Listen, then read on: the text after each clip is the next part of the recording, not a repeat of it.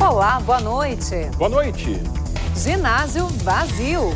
Desabrigados pela chuva no Tesourinha retornam para casa. Palácio Piratini anuncia pagamento integral dos salários de outubro, mas não garante o 13º do funcionalismo. Preso em Porto Alegre suspeito de participar de rede internacional de pedofilia. Os vilões do ar. Automóveis são responsáveis por 70% da poluição atmosférica na capital. No dia de combate ao AVC, saiba como identificar os primeiros sintomas da doença. Mais de 20 municípios gaúchos vão participar do revezamento da tocha olímpica no ano que vem. E no dia do livro, um passeio por locais que mantém viva a literatura. Você vai ver agora os principais fatos do dia na capital e no interior do estado.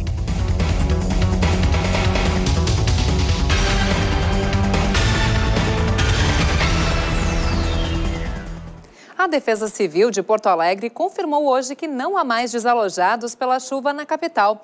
Todas as pessoas que estavam em abrigos ou com parentes já voltaram para casa. E depois de 18 dias alojadas provisoriamente, as últimas famílias deixaram hoje o ginásio Tesourinha. As famílias abrigadas no Tesourinha, desde o início do mês, começaram a voltar para casa nos últimos dias. Hoje, as que ainda estavam no local também arrumaram as coisas para retornar. Dona Gorete, a filha e os três netos ficaram oito dias no ginásio. Ela criou os filhos e comprou pouco que tinha trabalhando como doméstica, mas a casa não resistiu à força da água e ela perdeu tudo. Agora vai morar com a filha Janaína. E a minha filha achou melhor me mandar para cá, porque a minha casa quebrou, caiu tudo. Um galpão também fechou nela, terminou de quebrar e botar no chão. E eu já estava muito velha mesmo. Mas agora, graças a Deus, baixou lá e eu vou ficar com a minha filha até ela fazer a casinha para mim. O dia de sol ajudou no trabalho. A roupa secou. É hora de reunir as coisas para o retorno. As três últimas famílias que estavam no ginásio saíram no início da tarde. A Margarete e as filhas deixaram a Ilha dos Marinheiros assim que a água subiu. Depois de vários dias, estão ansiosas para voltar. Ah, depois de três semanas longe de casa, claro, vai ter muita coisa ainda para continuar, né? Casa para arrumar. E a arrumação vai começar com a ajuda do Exército e da Defesa Civil, que organizaram os pertences da família no caminhão. A pequena Valda estava feliz com a bicicleta que ganhou no Dia das Crianças. Na chegada, ficou ainda mais contente ao encontrar o pai, que não via há quase um mês. Na rua onde moram, bem perto do lago, a prefeitura colocou brita para facilitar a passagem dos carros. E é possível ver a água represada em alguns pontos. Para Margarete, agora é fazer a faxina e recomeçar. O sentimento de estar em casa é muito claro. De alegria, né? Estar em casa de volta. Agora é só recomeçar de novo. A gente vai aumentar mais a casa e botar mais aterro né, no pátio. As doações que permanecem no Tesourinha estão sendo encaminhadas para os centros administrativos regionais e para outras instituições. A partir de agora, o Tesourinha não recebe mais os donativos, mas eles ainda são importantes, especialmente material de limpeza, de construção e móveis. Eles podem ser entregues no Departamento Municipal de Habitação ou na Defesa Civil. Os salários de outubro do funcionalismo gaúcho vão ser pagos em dia. O governo chegou a rodar três folhas de contra-cheques considerando o parcelamento, mas voltou atrás depois da confirmação de que há receitas suficientes para pagar o valor integral ainda amanhã. Já para o 13º salário no fim do ano, aí o Estado prevê que vai faltar dinheiro. Os representantes de mais de uma dezena de associações e representações de trabalhadores foram chamados para um encontro no galpão crioulo do Palácio Piratini. Dez minutos antes de começar a reunião, o governador Sartori anunciava pelo Twitter o pagamento integral da folha do mês. Para isso, novamente será atrasada a parcela da dívida com a União, no valor de 260 milhões, e outras despesas que somam 600 milhões de reais. Mas já é certo que o Estado não terá o valor de 1 bilhão e 200 milhões de reais para o pagamento do 13º salário dos servidores. A alternativa alternativa deve ser um empréstimo bancário. Nós vamos tentar encontrar alguma alternativa. O fato é que nós estamos impedidos e talvez possa a rede bancária a fazer aí algum programa, abrir alguma alternativa de crédito para os servidores. Bom, essa é uma possibilidade que não depende de nós necessária e obrigatoriamente. Talvez a gente possa até fazer o pedido, né? sensibilizado com essa situação. A reunião apresentou a situação financeira do Estado. Foi possível baixar o déficit anual de 5 bilhões e 400 milhões de reais, estimado em janeiro, para 3 bilhões e 600 milhões de reais, agora em setembro. Os servidores questionaram o governo na adoção de medidas, como o aumento da arrecadação e a redução de isenções fiscais e da sonegação de impostos. E cobraram ações junto à União para revisar a dívida pública do Estado, que poderia até já ter sido totalmente paga. Nós temos um projeto que equacionaria a questão da dívida junto à União, assinado pelos três senadores gaúchos, em que dão por encerrada essa dívida e, pelo contrário, afirmam que nós temos um crédito de quase 6 bilhões de reais, o governo não moveu uma palha, embora seja do mesmo partido do presidente do Senado. Necessariamente vamos precisar de algumas soluções que vêm da esfera federal. Nós não saímos fora desse buraco sozinho. A dívida é uma alternativa que se discute com outros governadores e o governador Sartori, com o presidente da entidade que congrega os governadores de Santa Catarina, Paraná e Mato Grosso do Sul, vem liderando esse processo. Nós também, no conjunto dos secretários estaduais, viemos conversando junto com o nosso secretário adjunto, Luiz Antônio Bins, e outras alternativas estão sendo ventiladas. E a maioria dos assalariados pretende usar o 13º salário para pagar dívidas. É o que indica uma pesquisa da Associação Nacional dos Executivos de Finanças, Administração e Contabilidade. Aqui na capital, muita gente já começa a planejar os gastos do ano que vem. Mais de mil consumidores de todo o país participaram da pesquisa. 74% deles apontaram o 13º como a saída para o endividamento. Segundo a pesquisa, 83% das dívidas que devem ser pagas com o 13º estão relacionadas ao cartão de crédito e ao cheque especial. O estudo também mostrou que em relação ao ano passado, o número de consumidores que opta por utilizar o salário extra para colocar as contas em dia cresceu 8,2%. Para a associação responsável pelo estudo, os números representam uma elevação no endividamento do consumidor. Segundo este especialista, os motivos seriam a crise na economia, a inflação mais alta e a elevação das taxas de juro.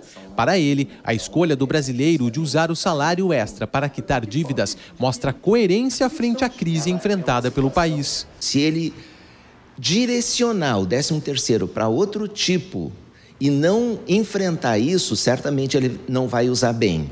Ele vai estar usando de forma muito errada, porque ele vai estar gerando mais compras, mais consumo quando ele tem já coisas antigas. Então ele tem que enfrentar as coisas antigas, as dívidas antigas que têm muitas taxas de juros. Mas em Porto Alegre, o comportamento do consumidor é outro. Na capital dos gaúchos, a maioria dos entrevistados deve destinar o décimo para contas futuras, que na pesquisa aparecem como a segunda opção para o salário. Colégio, faculdade. 15 anos da minha filha, enfim. Isso aí. São dívidas? Não, se, não chega a ser dívidas. Foram algumas contas que, que eu tive, né? E quem tem empregado doméstico deve ficar atento. O prazo para se cadastrar no Simples Doméstico sem pagar juros e multa termina na sexta-feira da semana que vem.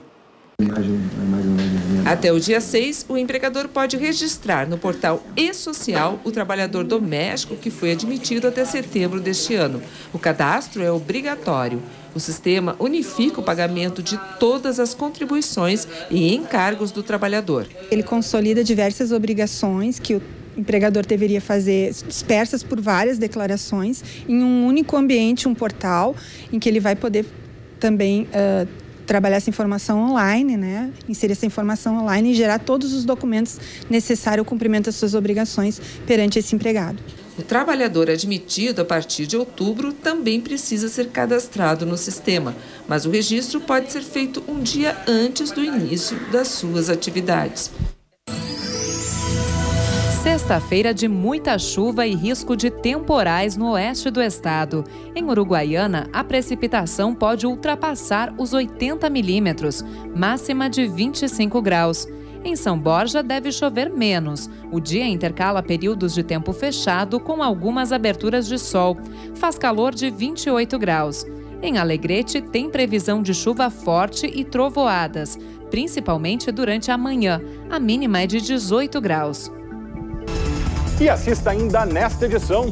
Divulgada a lista dos municípios gaúchos que vão participar do revezamento da tocha olímpica. E depois do intervalo, 70% da poluição do ar em Porto Alegre é provocada pelos automóveis. Nós já voltamos.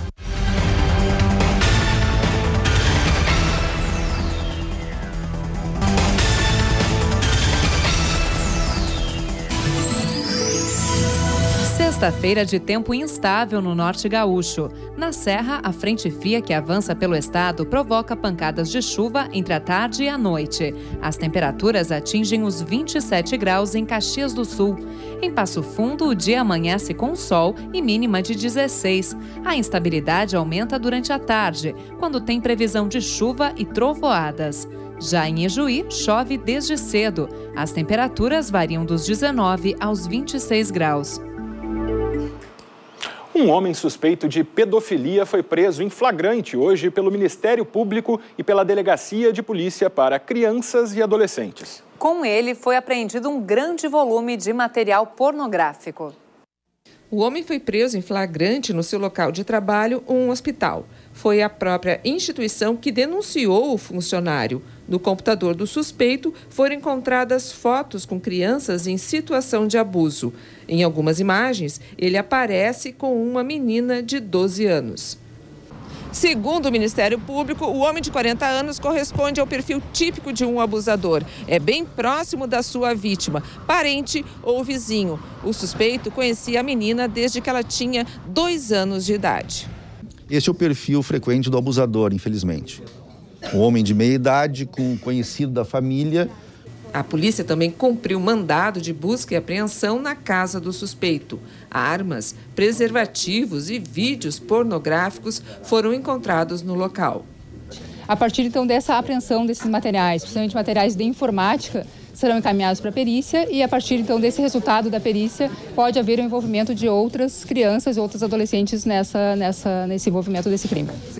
A polícia vai investigar se o homem comercializava pornografia infantil na chamada Internet Profunda, plataforma usada por criminosos para tentar fugir de rastreamento. E a Polícia Civil fez hoje uma operação contra o tráfico de drogas em Porto Alegre e em Canoas. A Operação Luxúria desarticulou uma organização criminosa que utilizava uma rede de prostituição para vender entorpecentes. As investigações duraram seis meses. Segundo a polícia, as drogas eram vendidas por acompanhantes de luxo. Homens e mulheres eram aliciados pelos traficantes para participarem desse esquema. Cinco pessoas foram presas. Os policiais também apreenderam documentos falsos, máscaras, cigarros contrabandeados, dinheiro, um carro e uma espingarda. E no Vale do Taquari deve ser inaugurada em até duas semanas a ampliação do presídio estadual de Lajeado. A casa conta com 120 novas vagas. Já o presídio feminino da cidade segue em obras. Os detalhes na reportagem da TV Univates. O engajamento da comunidade é diferencial na obra de ampliação do presídio estadual de Lajeado e na construção da ala feminina. A prefeitura, embora com muita boa vontade e nos auxiliou com 120 mil, 120 mil é 15% do total. Aí entra o judiciário, as nossas empresas, fundamental. Que tipo de ações foram feitas? Foi passada a bandeja, o chapéu, como se diz, foram feitos jantares, foram feitos almoços e foram visitadas algumas empresas pedindo a colaboração. Todas elas nos receberam muito bem, se sensibilizaram. A ampliação, que contou com mão de obra prisional, deve ser inaugurada nos próximos 15 dias. São oito alas para 18 apenados do regime semiaberto. Para serem transferidos para os novos quartos, os presos precisam ter bom comportamento e estar trabalhando ou frequentando um curso profissionalizante. A casa prisional conta ainda com outros dois albergues, com 48 e 78 apenados. A obra já está pronta. Para ser inaugurada, falta apenas adequar a agenda de autoridades. Já se passaram cinco anos desde que a Associação Lajadense Pró Segurança Pública, ao CEPRO, começou a manifestar o desejo de tocar as duas obras. No momento que se tomou a decisão de fazer com recursos nossos de lajado, do empresariado, ela está vindo bastante rápida até. E a burocracia foram os grandes entraves. Mesmo assim, a ala feminina está saindo do papel. Cerca de 40% da obra está concluída. Serão abrigadas 72 detentas. A obra começou em 18 de março e a expectativa é de que na mesma data do ano que vem ela possa ser inaugurada e as presas da região não precisem mais serem transferidas para outras cidades. Sexta-feira de tempo instável no sul gaúcho. Na campanha, o sol aparece entre muitas nuvens e pode chover a qualquer hora, mínima de 18 graus em Bagé. Em Pelotas, as pancadas de chuva devem começar a partir da tarde. Os termômetros atingem os 27 graus. No litoral sul, o sol da manhã também dá lugar à chuva durante a tarde. As temperaturas variam dos 18 aos 26 graus. Hoje é dia de combate a uma das doenças que mais mata no mundo, o acidente vascular cerebral. E especialistas mostram como é possível prevenir o AVC com informação e alguns cuidados. Segundo a Organização Mundial da Saúde, o AVC mata uma pessoa a cada cinco segundos no mundo. A doença atinge 16 milhões de pessoas ao ano e leva à morte cerca de 6 milhões. No Brasil, o AVC é a segunda maior causa de mortes. Embora tenha havido uma redução nos últimos cinco anos, a doença ainda atinge cerca de 400 mil pessoas e mata cerca de 150 mil brasileiros por ano. Na luta contra esta doença, a informação ainda é a arma principal. O AVC, conhecido também como derrame cerebral, ocorre devido à obstrução ou rompimento das artérias cerebrais. Atenção aos sinais. Observe se a boca ou a face está torta ou assimétrica. Levante os braços, veja se um dos braços está fraco e não se sustenta. Fale uma frase. Verifique se a fala está enrolada ou atrapalhada. Apenas um desses sinais já é o suficiente. 90% dos casos pode ser prevenido se o, se o paciente reconhecer seus próprios fatores de risco e se tratar. E se o AVC acontecer, tem tratamento se ele chegar rápido no hospital preparado. No Dia Mundial de Combate ao AVC, a Secretaria da Saúde de Porto Alegre e a ONG Rede Brasil AVC desenvolvem uma ação de combate e prevenção. Pela manhã, uma longa fila se formou no estande que oferece testes de verificação de pressão, índice de massa corporal e avaliação de risco. Fazer tudo certo, como estão mandando, né? Fazer, comer mais verduras, né? Evitar muitas coisas, fazer exercício físico. Vou mudar. O principal fator de risco é a pressão alta e ela é mal controlada. Como o paciente não tem sintomas da pressão alta, não se dá conta que tem que tomar remédio. Quando dá um sintoma, é um sintoma muito grave, como um AVC. Em cada 10 casos de derrame cerebral, seis ocorrem em mulheres. E, independente de gênero, uma a cada seis pessoas vai ter um AVC ao longo da vida. Um estudo sobre o efeito estufa foi apresentado nesta quinta-feira em Porto Alegre. A pesquisa realizada entre maio e julho deste ano mostra as consequências do alto número de veículos para o meio ambiente. Quem circula pelo centro de Porto Alegre não aprova a qualidade do ar que respira. De péssima qualidade. Por quê? Acho que por conta do excesso de veículos, muita poluição, Devido à grande aglomeração de veículos e pessoas, o trecho entre as avenidas Borges de Medeiros e a Salgado Filho serviu de amostra para um estudo sobre a emissão de gases do efeito estufa. A pesquisa apontou que 70% desses poluentes são produzidos por carros individuais. O resultado coloca a cidade em estado de alerta. Porto Alegre entra efetivamente no mapa né, das cidades que hoje está uh, na agenda uh, global é, preocupada é, com essas questões que são questões de saúde pública. Né? Não é possível viver em cidades mais do jeito que estamos vivendo. O inventário foi feito a partir de 400 entrevistas. De cada 10 pessoas entrevistadas, 7 dizem ir ao centro de ônibus. 70% estaria disposta a mudar de hábitos de locomoção. Este advogado usa carro particular, mas diz que está consciente da situação. De carro, carro próprio. Tem essa noção assim que o teu carro ajuda a poluir, embora seja uma coisa necessária? Tenho essa noção. Né? Eu acho que o, o que é ideal é o carro também estar tá sempre é, em dia, né? regulado. Além desse estudo encomendado pela Secretaria Municipal do Meio Ambiente, a qualidade do ar da cidade é verificada constantemente pelo órgão. Em Porto Alegre, existem três estações de monitoramento do ar. Uma no bairro Azenha, outra no Maitá e esta aqui no centro, entre as avenidas Borges e Salgado Filho. O equipamento mede a concentração de poluentes atmosféricos 24 horas por dia. Até o momento, eles vêm se mantendo dentro da normalidade, né? E tendo esse histórico ao longo dos anos, a gente pode uh, minimizar os problemas causados pelas emissões atmosféricas, buscando sempre uh, melhorias nos licenciamentos, até mesmo em programas e projetos que a prefeitura vem a desenvolver na área de transporte público. O boletim diário das condições do ar pode ser conferido pela internet.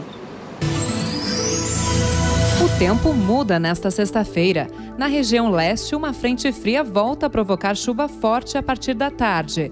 Em Porto Alegre, dia abafado com calor de 29 graus. A máxima é de 29 também em Novo Hamburgo. Por lá, o tempo fica instável e tem risco de temporais isolados.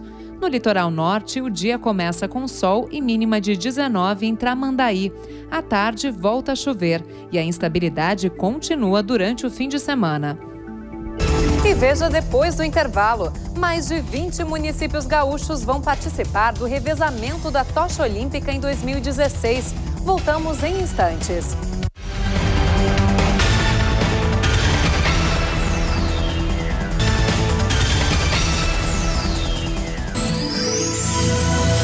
No centro do estado, volta a chover nesta sexta-feira. Em Santa Cruz do Sul, o dia já amanhece com tempo instável. A máxima chega aos 27 graus. Em Santa Maria, dia abafado com pancadas de chuva a qualquer hora, mínima de 19. A previsão do tempo é a mesma para a Cachoeira do Sul. Embora o sol apareça pouco, as temperaturas atingem os 27 graus. O Rio Grande do Sul conheceu hoje os municípios que vão participar do revezamento da tocha olímpica em julho do ano que vem. A chama dos Jogos Rio 2016 vai ser acesa na Grécia no dia 21 de abril. O maior símbolo olímpico chega ao Brasil em maio do ano que vem. Mais de 300 cidades vão participar do revezamento. 25 delas são gaúchas. Hoje, durante um evento no Palácio Piratini, foram divulgados os nomes dos municípios que recebem o fogo olímpico. Em cinco, a tocha deve pernoitar após os eventos turísticos. São eles Porto Alegre, Caxias do Sul, Santa Maria, Pelotas e Passo Fundo. A tocha ela tem essa capacidade porque ela reúne atletas, personalidades do município, pessoas que apoiam o esporte e, há, e vejo como um grande indutor. Isso vai gerar o que a gente chama de legado intangível, uma vontade imensa nas crianças de praticar esporte. Para o governador do estado, o revezamento da tocha entre as cidades representa muito mais do que um símbolo do esporte, mas o desejo da cultura de paz entre as pessoas a cultura da não violência e a cultura da paz deve ser o grande símbolo dessa caminhada que todos os municípios vão fazer e que o esporte vai fazer no Rio 2016. O investimento previsto para o evento gira em torno de 40 bilhões de reais. Os Jogos Olímpicos ocorrem de 5 a 21 de agosto no Rio de Janeiro.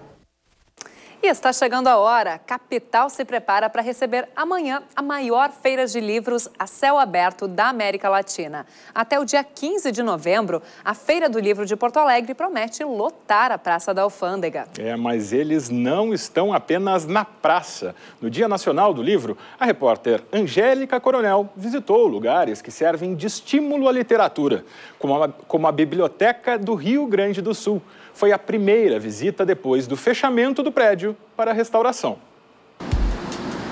Um prédio inteiro, um lindo prédio do começo do século passado, totalmente dedicado à leitura. é que em 1912, quando ele começou a ser construído, o acesso ao conhecimento só se dava assim, nessas folhas de papel com ideias organizadas, muitas vezes redigidas em máquinas como esta. É o que chamamos de livro.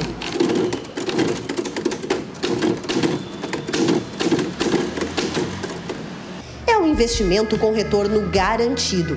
Quando terminar essas 508 páginas, você vai ter conhecido a história de Galileu, São Francisco e Cleópatra. E num pedacinho de uma estante estão a Divina Comédia, Olhai os Lírios do Campo e o Guarani, todos clássicos. Mas para Leonardo, que trabalha justamente aqui na reforma do prédio da biblioteca, tudo ainda é muito distante. Quantos livros tu costuma ler num ano? Ah, não tenho ideia, não tenho ideia. Mais de 10 ou menos de 10? Ah, bem menos, bem menos. E televisão todos os dias? Quase todo dia, quase todo dia.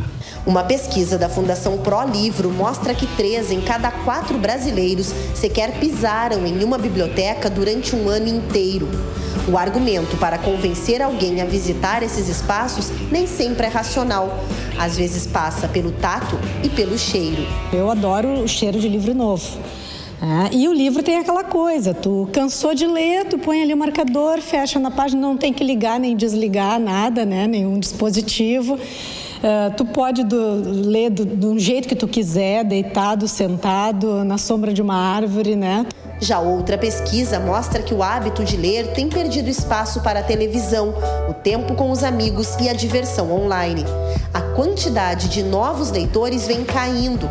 Luciana não é daquelas mães que só reclamam. É de pequenino que se incentiva a leitura. Eles têm uma rotina de ler cinco livros semanais e a gente sempre lê. Claro que é um esforço nosso também. Às vezes eu falo com umas amigas, ah, tô tão cansada de noite, não consigo ler tanto livro. É um esforço que a gente faz, mas eu acho que é um esforço que vale a pena. O resultado é que Vito não é daquelas crianças que só pedem para ver desenhos. Em seus longos quatro anos de vida, dois já são passados dentro de uma biblioteca infantil. O que, que é o mais legal daqui? O livro. A boa notícia, segundo uma pesquisa de setembro deste ano, é que a venda de livros cresceu quase 7% no primeiro semestre. E você aí se perguntando por que não terminou de ler aquele livro no ano passado? Por que não consegue largar o celular 15 minutos para dar uma folhada em alguma coisa interessante? Não tem nem a desculpa do preço. O valor médio dos livros caiu 1,5% entre 2014 e 2015.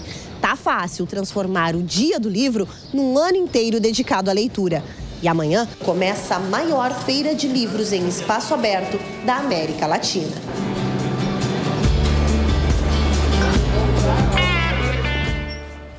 E assim nós encerramos o segunda edição. Uma boa noite e boa feira do livro. É isso aí, uma boa noite para você.